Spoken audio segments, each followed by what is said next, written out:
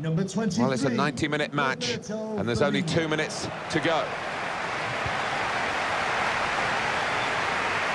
Into the attacking third. The fourth official has indicated there will be a minimum of Marcelo. 10. It's another one for them. They go further in front, and they are full value for this position.